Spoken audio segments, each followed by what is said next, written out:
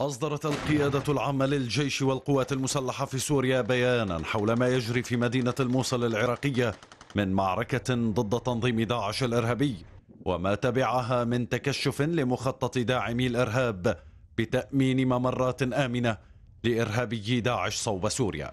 وقالت القيادة في بيانها إنه بعد بدء العمليات العسكرية التي ينفذها الجيش العراقي الشقيق والقوى الرديفة لتحرير مدينة الموصل من عصابات داعش الإرهابية وفرار المجاميع الإرهابية تحت وطأة الضربات التي تتلقاها على يد أبطال الجيش العراقي.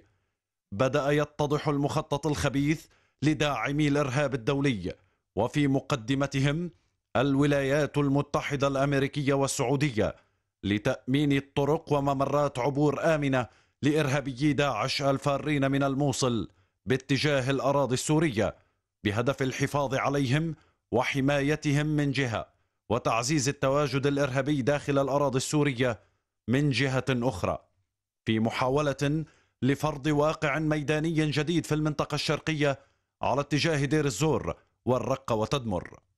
إن القيادة العامة للجيش والقوات المسلحة إذ تؤكد أن معركة تحرير الموصل وكافة أراضي العراق الشقيق من رجس الإرهاب هي معركتها فإنها تعتبر أي محاولة لعبور الحدود. هي بمثابة اعتداء على سيادة الجمهورية العربية السورية وإن كل من يقدم على هذه المحاولة يعد إرهابيا وسيتم التعامل معه بجميع القوى والوسائط المتاحة.